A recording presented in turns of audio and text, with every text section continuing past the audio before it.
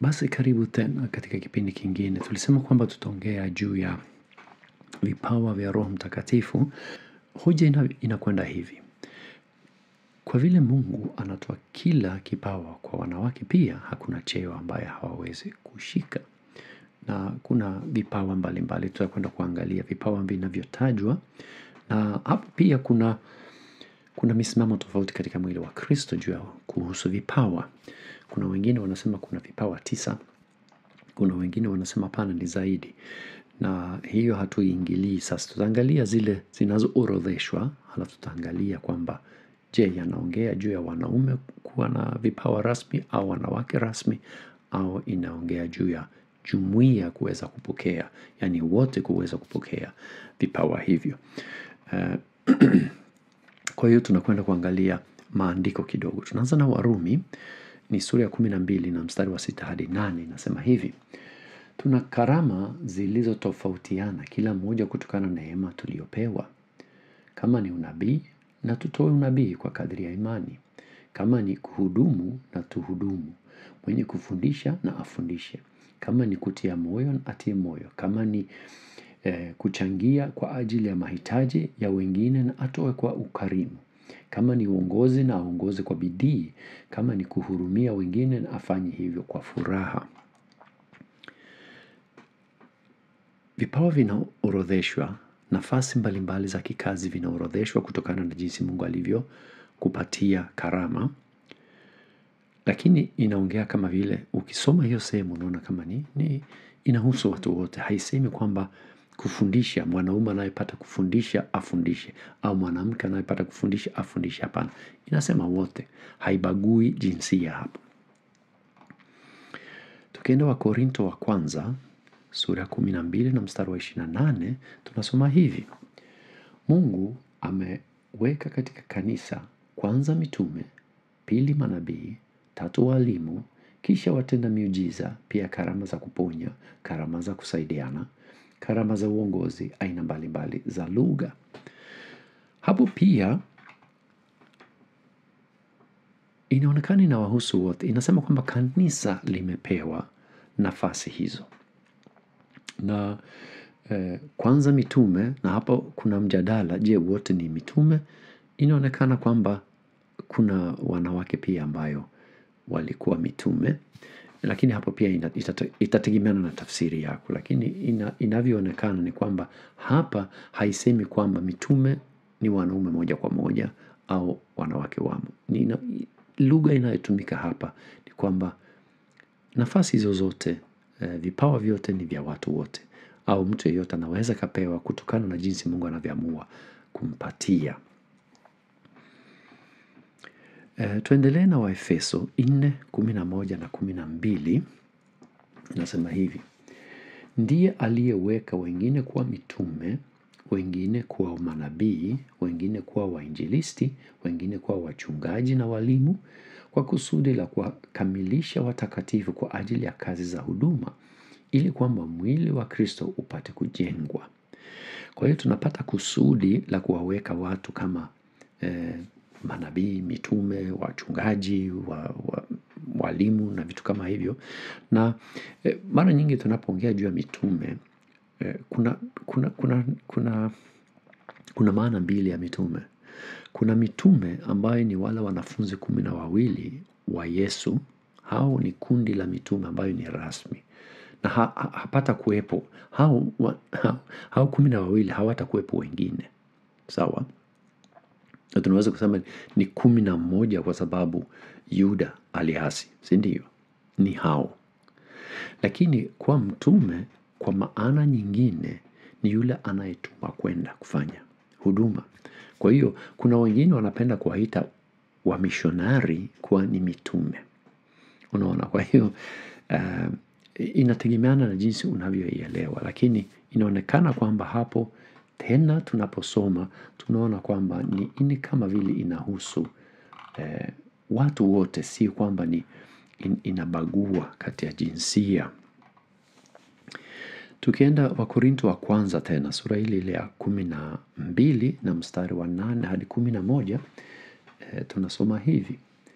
Maana mtu Maana mtu mmoja kwa roho hupewa neno la hekima na mwingine neno la maarifa kwa roho huyu huyu. Mtu mwingine imani kwa huyu roho na mwingine karama za kuponya kwa huyu roho mmoja. Kwa mwingine matendo ya miujiza, kwa mwingine unabii, kwa mwingine kupambanua roho, kwa mwingine aina mbalimbali za lugha na kwa mwingine bado tafsiri za lugha. Haya yote hufanywa na huyu huyu roho mmoja. Roho naye humgawia kila mtu kama apendavyo. Tena tunaona kwamba ni kama vile ina inahusu wote na ingawa hapa kufundisha na kuongoza haitajwi ni kwa sababu eh, unajua unapoorodhesha eh, vipawa au vitu kama hivyo. Si lazima, si mara zote unataja kila kitu. Na hiyo kwa kawaida inatuonyesha kwamba eh, vipawa vinaweza vikawa zaidi kuliko orodha unaotolewa. Kwa sababu warumi tunaamini kwamba ni Paulo ameandika, Wakorinto wa kwanza tunaamini ni yeye, efeso ni yeye. Kwa hiyo ni mtu mmoja anayotoa urodha mbalimbali. Hiyo kwa kawaida inaonyesha kwamba sio kwamba unaweza ukachukua urodha moja ukasema basi ni hizi. Isipokuwa anaonyesha kwamba kuna upana, kuna zaidi. Ndio maana wakati anataja hizi, wakati mwingine anataja hizi. Hivi ndivyo tunavyoelewa. Petro wa kwanza sura ya nne na mstari wa kumi hadi kumi na moja inasema hivi. Kila mmoja atumie kipawa chochote alichopewa kuwahudumia wengine kama wawakili waaminifu wa neema mbalimbali za Mungu. Yeyote asemaye hana budi kusema kama mtu asemaye maneno ya Mungu mwenyewe. Yeyote yeyote ahudumuye hana budi kuhudumu kwa nguvu zile anazopewa na Mungu. Ili Mungu apate kutukuzwa katika mambo yote kwa njia ya Yesu Kristo. Tunaambiwa tutumie vipawa tunayopewa na Kristo. Na hapo sasa swali kubwa inayokuja ni kwamba je, kama nimepewa kipawa cha kufundisha, si ninatakiwa nifundishe? Kama nimepewa kipawa cha kuongoza watu kama kanisa, kama katika nafasi ya uzee au katika nafasi ya uchungaji, si ninahitaji kuifanya hiyo kazi? Na inakuwaje sasa nikizuiliwa kwa sababu mimi jinsia yangu haifai? Hiyo si inagongana na na, na neno la Mungu hapa. Kwa hiyo tukiangalia haya maandiko, kila sehemu ambayo tumeangalia, tumeona kwamba inavyoonekana inahusu wote wanaume kwa wanawake. Na tunaambiwa tutumie vipawa hivyo. Kwa hiyo kama mimi ninapewa kipawa, si ninatakiwa nitumie. Sihitaji kujali kama mimi ni mwanamume au mwanamke. Kwa hiyo wakati tunazuiliwa kwa sababu ya jinsia, hapo sasa itakuwa ni shida. Labda unaweza kusema kwamba ee ni sawa lakini kipawa si ofisi. Hiyo ndio ndio utetezi ambayo unaletwa na complementarian sasa. Watasema kwamba ah, kipawa sio ofisi. Kipawa ni kitu unapewa na Mungu, sio kitu ambayo wanadamu wanakuchagua kupata. Sawa? Kwa hiyo watasema lakini ofisi kama ni uzee wa kanisa unakaguliwa na unapewa, unachaguliwa na watu. Kwa hiyo ni wanaona ni tofauti. Hapo ndipo unakuta utengano upo katika makundi hayo mawili. Na unaweza kusema lakini si Mungu anatupa uweza ya kuweza kufanya kazi ndani ya ofisi fulani. Ninaposema ofisi ni kwamba kwa mfano uchungaji tunaita ni ofisi fulani. Uzee wa kanisa ni ofisi fulani. Na kama Mungu anatuwezesha, si katika kule kukaguliwa itaone kwamba itaonekana kwamba tunaweza. Kwa sababu kama Mungu ananiwezesha mimi kuwa mzee wa kanisa atanipa zile nguvu za kuwa na sifa zile ambayo ni masharti ya mzee wa kanisa si ndio? Na kama anafanya hivyo kwa sababu eh, ni, ni kama vile unapoleta hiyo eh, hoja hapa ya kusema ah, ni, ni tofauti na, na, na, na cheo na, na au ofisi na kupata karama. Ni kama vile unasema kwamba okay, wanadamu wanachagua watu wanaowaamua hivi hivi tu. Ni kama vile unasahau kwamba mungu tayari anatuwezesha. Ni moja ya karama. Na mimi ninaamini kwamba kuna karama za kuweza ku, kuongoza hata kama kwa mfano wa, wa kiofisi yani administration. Yani kuongoza mambo mengi katika kanisa ambayo labda sio kuhubiri labda sio sio kazi hizi ambayo unasema za kiroho sana lakini una, unapata uweza wa kufanya hivyo. Na mungu anakupa uweza na ndio maana unachaguliwa. Kwa hiyo hapa, hapa mimi binafsi ninaona kwamba eh, ni kama vile unatafuta kitu cha kuweza kuzuia wanawake hapo bila ya kuwa na, na, na uzito sana katika hiyo. Lakini pia kwa upande mwingine ninaweza nikajitumia mwenyewe kama mfano. Mimi nimefanya huduma kama mishonari tangu mwaka 1996 kwa hiyo mimi nimefanya kazi za mission na kazi zangu zimekuwa ya kufundisha kabla ya kuwa mishonari nilikuwa ninafundisha katika kanisa yangu nilikuwa ninahubiri jumapili eh, katika kanisa langu pamoja na mchungaji eh, mchungaji msimamizi wa hiyo kanisa. Lakini mimi sijawahi kuwa mzee wa kanisa. Hata siku moja mimi sijawahi kuteuliwa kuwa mzee wa kanisa. Nimewahi kuwa shemasi katika kanisa moja ambayo ilikuwa kikazi ilikuwa inafanana kwa sababu kanisa lile lilikuwa halina wazee wa kanisa ilikuwa na mchungaji halafu ikawa na eh, washemas ambao walikuwa ni kama wasaidizi. Lakini cheo cha uzee sijawa nayo wala sijawa mchungaji wa kanisa. Ninajua hapa katika chanel yangu wengine wananiita mchungaji eh, eh, lakini mimi si mchungaji. Mimi sio mchungaji wala si, sijawa mchungaji. Kwa sababu um, uchungaji unapewa unachaguliwa kuwa mchungaji unateuliwa mara nyingi kwa mchungaji. Ingawa leo pia ninafahamu kuna wengine wanakwenda halafu wanajiita wachungaji. Lakini pale ambapo mimi nimekulia uchungaji lazima kwanza usomee halafu uchaguliwe uitwe na kanisa kuwa mchungaji wao. Hiyo ni taratibu ambayo nimeizoea. Na kuna taratibu mbalimbali mbali katika makanisa mengi lakini mimi sijawahi sija, sija kuwa mchungaji.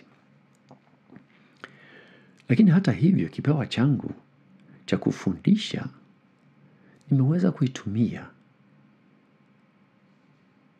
Na nimeweza kuiendeleza bila matatizo yoyote. Sijahitaji hiyo cheo kwa kuweza kufanya kazi katika huduma na katika vipawa vyangu. Kwa hiyo wala sijajisikia vibaya kwa vile mimi sijawa mchungaji au sijawa mzee wa kanisa in fact ninafahamu kwamba kuna, kuna baadhi ya kazi za wazee wa kanisa ambayo mimi nadhani nisingefaa kufanya. Na hata kuwa mchungaji mi mara nyingi nasema mimi uh, uchungaji mi staki mimi ninafundisha watu. Hiyo ninapenda kufanya. Lakini kuchunga ina mambo mengi zaidi ya hapo. Na mimi mwenyewe ninajitambua. Sifai labda nitakuja kufaa siku moja hii sijui. Lakini kwa sasa hivi mimi kufundisha ninaweza lakini kuna kazi zingine kwa sababu uchungaji ni kazi pana sana kuliko kuwa mwalimu. Na labda tatizo kubwa katika mwili wa kristo ni kule kuwania nafasi na vyeo mbalimbali au ofisi mbalimbali. Hiyo inakuwa ni lengo letu kubwa badala ya kutumika na kuhudumia katika vipawa vyetu na katika eh, nafasi zetu ambayo mungu ametuingiza tufanye. Na, na hapo ni kama vile sisi wa kristo tumepoteza lengo lenyewe. Mimi nadhani kwamba somo hiyo yote ambayo tunayoipitia sasa hivi, kama kweli mwili wa Kristo ungekuwa na moyo wa Kristo, somo kama hili lisingehitajika, kwa sababu isingetusumbua, isingetusumbua hata kidogo. Lakini kwa vile sisi ni wanadamu na tuna matatizo yetu, ndio maana inabidi tufanye somo. Nafikiri sasa hivi tuko kwenye kipindi cha ishirini kama sikosei, na bado tunaendelea na vipindi vingine vingi tu, kwa sababu sisi tuna matatizo, sisi wanadamu.